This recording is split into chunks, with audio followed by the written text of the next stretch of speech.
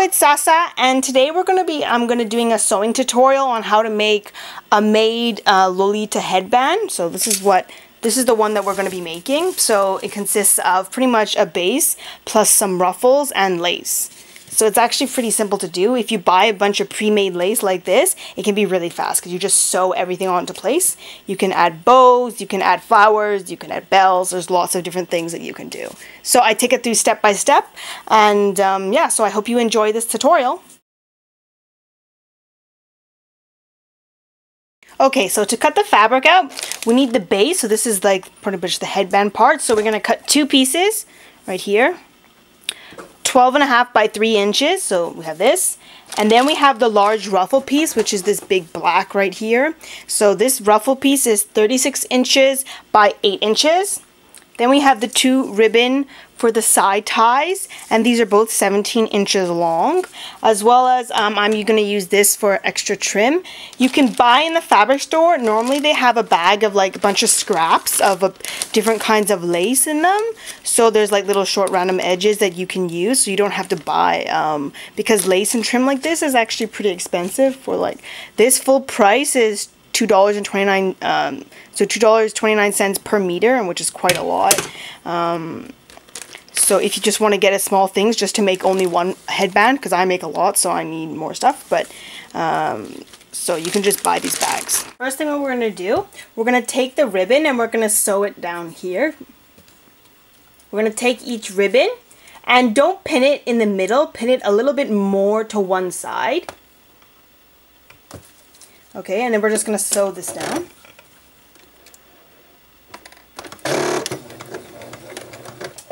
We're going to put this, um, sew these two white parts together and then flip it inside out, okay? So what I recommend you doing, because if you just sew it like this, there's a high chance that you're going to sew on the ribbon and when you flip it, it's going to get all caught and waste your time. So what I do, I just fold this ribbon inside the center.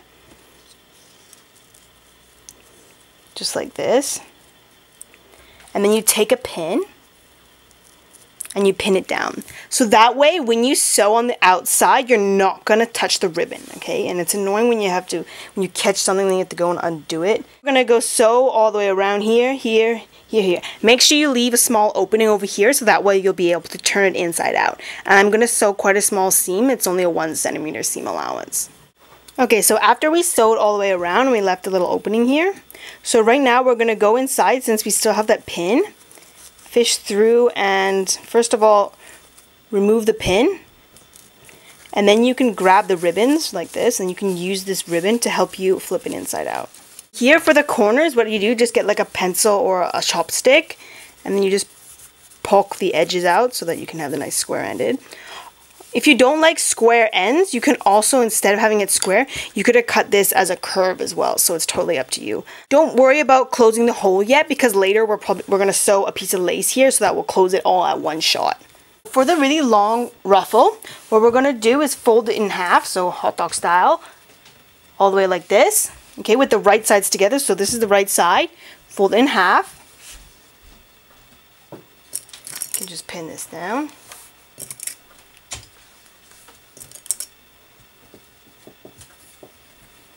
Okay, so what we're to do is we're to sew all the way across, also with a one centimeter seam. Okay, so we're to sew all the way across, but make sure in the center you leave an opening. Okay, so here right now I'm in the center, so I'm just to backstitch. And move this out. Okay, so now we're to leave a small opening here, and I'm to start like about here.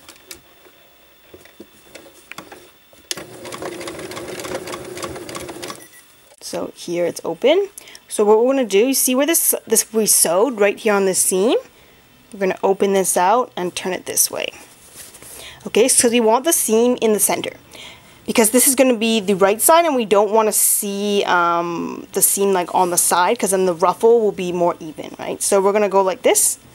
So try and get this in the center.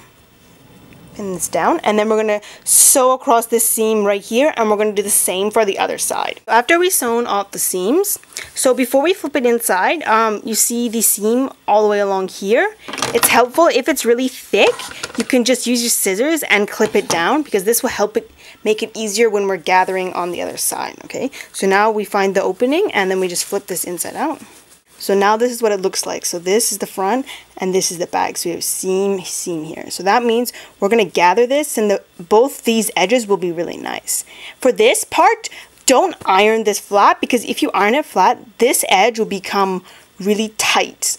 And we want to have a little, um, some more air in it. So that's why we don't iron it so that when you go like this, it's a bit more like puffy and more soft looking. The hole that we left open, don't bother closing it. It's really unnecessary, just a waste of time. So forget that um, because this is going to be on the underside. It's not going to cause any problems anyways. It's not going to fray. So now we have a long tube. So what we're going to do is two rows of stitching on the longest length of a straight stitch. So boom, boom, boom, boom, boom, right down the center. So we want two straight lines all the way down. Um, don't backstitch and then we're going to pull the threads to gather this all up and it'll be all nice and evenly scrunched up. I've already sewn on one side and when you're sewing like there's the center seam here you can use that as a guideline. So when I'm sewing I feel the outer edge of my presser foot so this thing right here you can feel the bump right? You can feel this bump here so then you you know where to sew. Um, don't sew directly on this seam that's why we cut it thinner because if you sew right there and then you try to gather it, the fabric is extra thick so it's more difficult to gather. Now we're going to gather it. So we take the two top threads. We're holding the two top threads here. Now you're to gently pull it. And you use your left hand to just glide the little gathers downwards started pulling on the top threads, don't pull the bottom threads because if you do that, it's going to lock into the lock into place and you won't be able to do any more gathers. So we're going to continue gathering this until it's the width of our, our band because we're going to sew this on top right here. So we have to gather this all until it fits. Um, so it fits the width of our headband. Okay, so once you finish gathering it to about the same length as your headband, okay, so Check that if your ribbon, because my ribbon is a one way, so this is the shiny side and the non-shiny side, so make sure it's the right side, not the wrong side, so up here. So you're going to place the two ends where the ribbon meets, okay? So this is where it's going to start, so about here, and we're going to pin this into place. Okay, and then the other end will be on this end. Okay, we want this ruffle to be more towards one side, right? Okay, it's not in the center of the headband. So we go along and you pin this whole thing in place.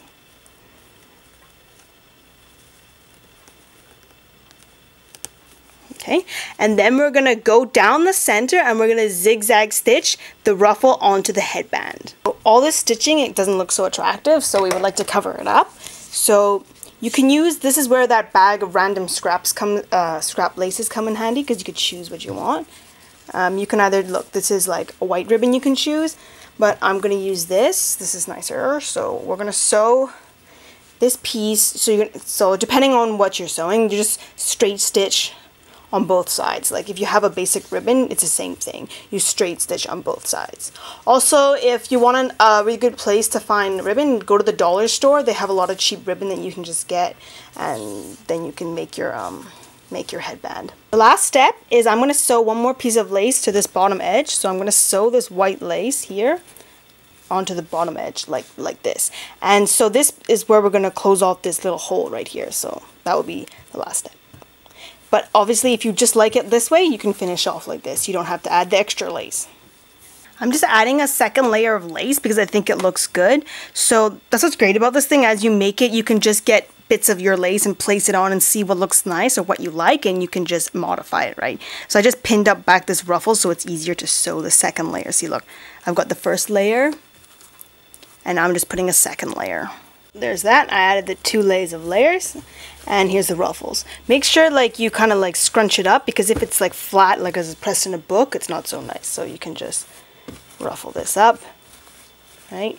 And you can either wear it as this way is the front or that's the that's the front. It's reversible, right?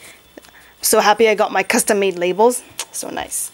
Okay, so that. So the last step, um, so this is the two sides. We're to add some bows so you get your ribbon. And normally before cutting the ribbon, I like to tie the bow and I want to see like approximately how big I want to make the bow. So we take two loops, cross, under, pull this out. You can like adjust the size of the bow, like how big you want and how long the ties you want it. And this is going to be hand sewed to the edge like that.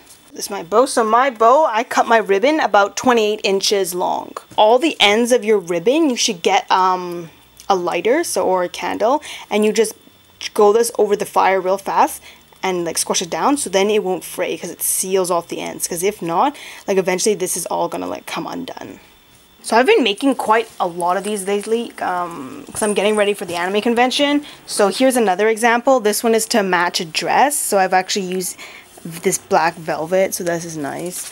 Um, this is, um, you can add bells. Jingle, jingle, jingle. If you're interested in any of them, I'm going to be doing a photo shoot with all of these very soon, and it'll be on my Facebook page, so you can um, comment on which ones you're interested in, and I can even make you a custom one, so if you like pink or purple or whatever, I can make you one, um, and you can also email me directly. So that's the end of this tutorial, so I hope you learned something, and it was like easy enough to follow through. So if you still have further questions, feel free to comment or send me um, an email, whatever. So thank you so much for watching. Bye bye.